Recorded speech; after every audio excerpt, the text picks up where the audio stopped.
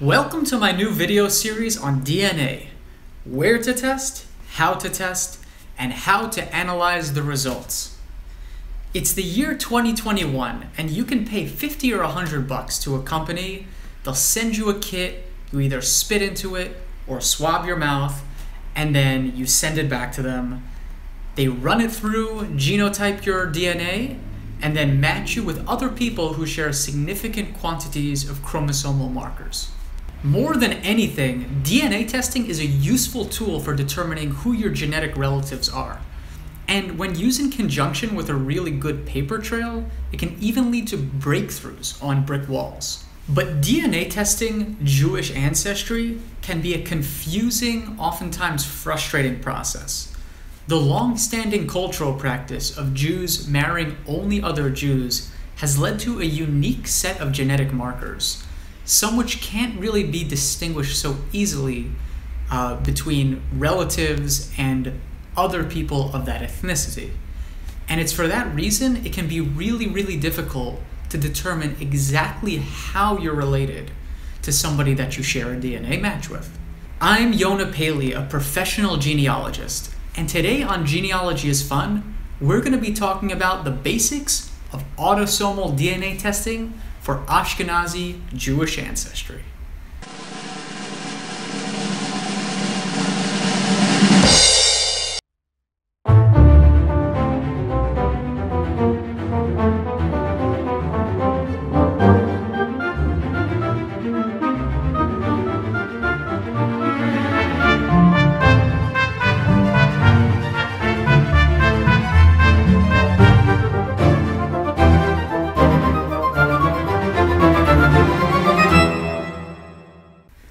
First question you may be asking is what is autosomal DNA testing?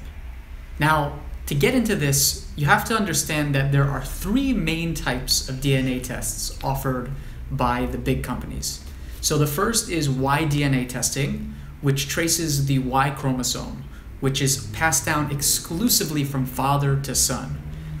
And then there's mitochondrial DNA testing, which, as you've guessed, traces the mitochondria within the cells, and that's passed down from a mother to her children. But the third type of DNA testing, which is by far the most popular, is autosomal DNA testing. So you have 23 sets of chromosomes, and one set of those chromosomes are your sex chromosomes, which determine if you're biologically male or female. And of course, for men, you would have a Y and an X, and for people who are born women, there would be two X chromosomes. But what about your other 22 sets of chromosomes? Those are your autosomal ones, and those are passed down across many generations on many different lines. The benefits of testing your 22 pairs of autosomal chromosomes is the information is passed down from both of your parents. So you're able to get a decent amount of information from all of the branches of your close by family. Now, due to a process called recombination, the amount of DNA you share with ancestors is random. So you share about 50 50 with each parent. They get 50% from each of their parents.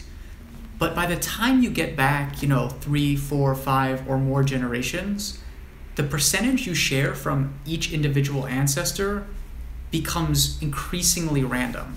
So it's pretty easy to tell if you're a first, second, third cousin of someone.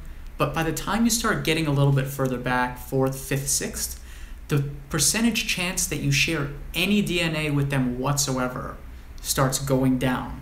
So it's not so easy to tell whether or not you're somebody's fourth cousin, fifth cousin, sixth cousin.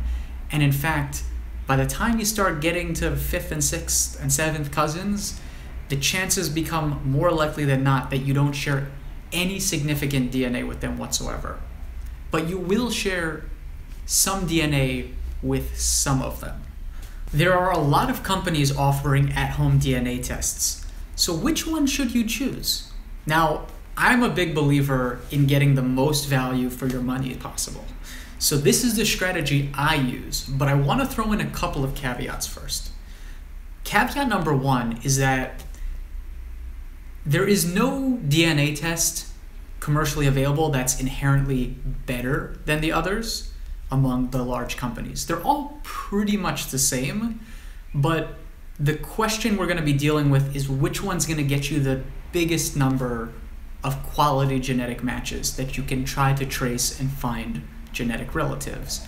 The second caveat is that not every country has the same laws with regards to DNA tests.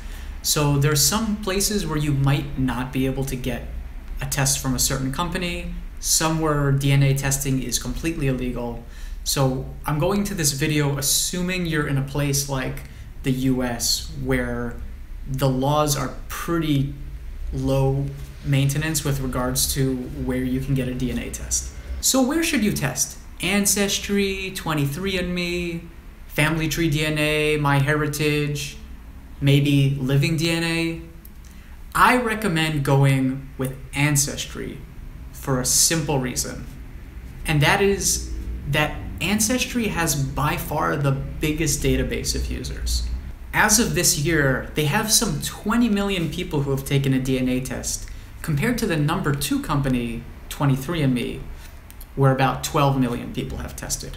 The other reason I recommend going with Ancestry is that you can download your data and upload it to most of the other sites. So you can upload your data to uh, MyHeritage, Family Tree DNA, GEDmatch, Living DNA, and even a couple of others. But what you can't do is take one with one of the other companies and then upload it to Ancestry. Now, the same rule goes with 23andMe. So if you test with 23andMe, you can upload to most of the others, not Ancestry. But you can't do it the other way around. So really, the ultimate way to max out your DNA tests would be to test with both Ancestry and 23andMe and then upload them to all the other sites. But given that most people don't want to buy more than one DNA test, if you want to get the biggest number of matches for the least amount of money, your best bet is testing with Ancestry first, uploading it to most of the other ones, and you'll have access to every single database with the exception of 23andMe. Now that you know where to test, the question is who should you test? Remember when I said earlier how every generation the amount of DNA shared gets smaller and smaller? It's for this reason why it's so important for you to test the oldest people in your family first. So if you have living grandparents, great aunts and uncles, even parents, uncles and aunts, it's always better if they're willing to take a test to test them first. Think about it. If you have living parents or uncles and aunts and you have them take a test, they're going to match with people that you probably won't, or you'll match much smaller.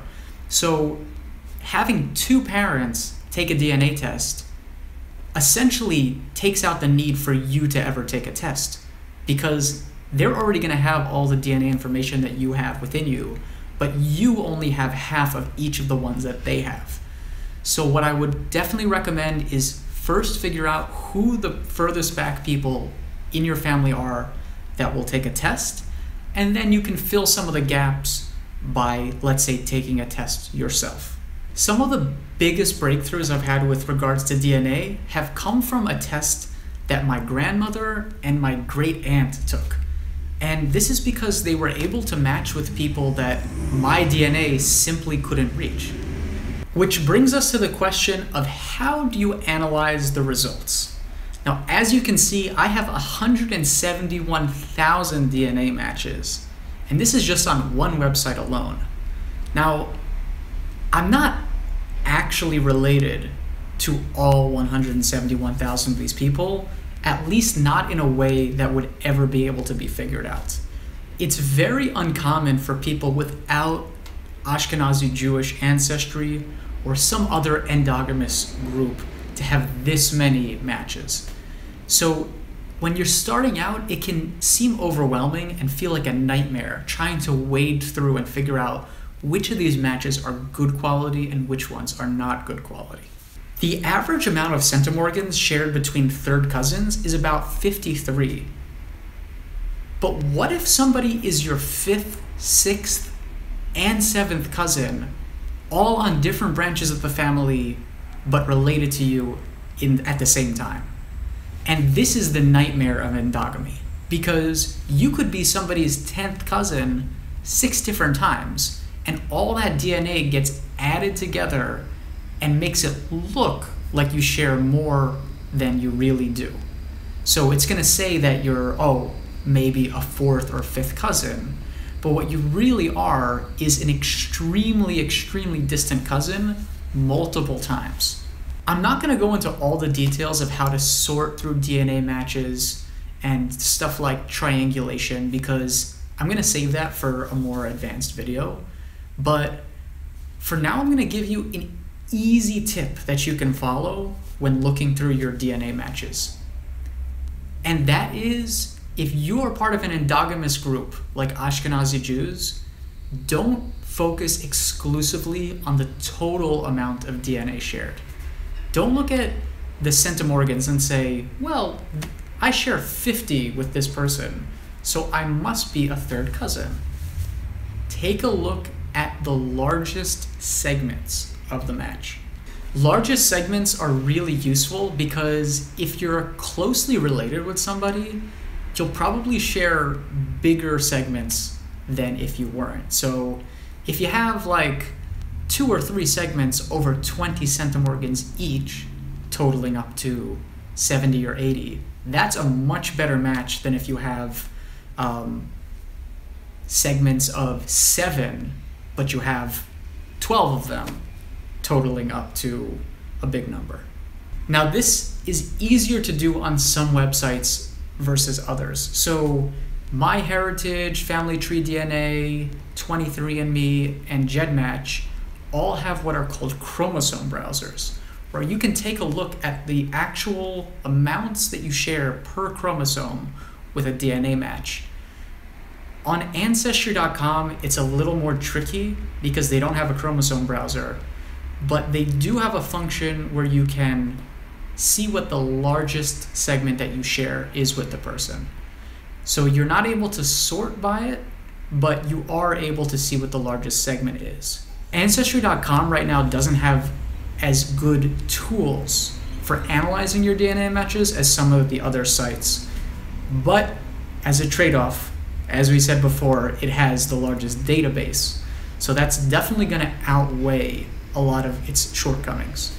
Now, I want to close off with just one final note, and this is something to keep in mind that DNA testing is only as useful as how good your paper trail is.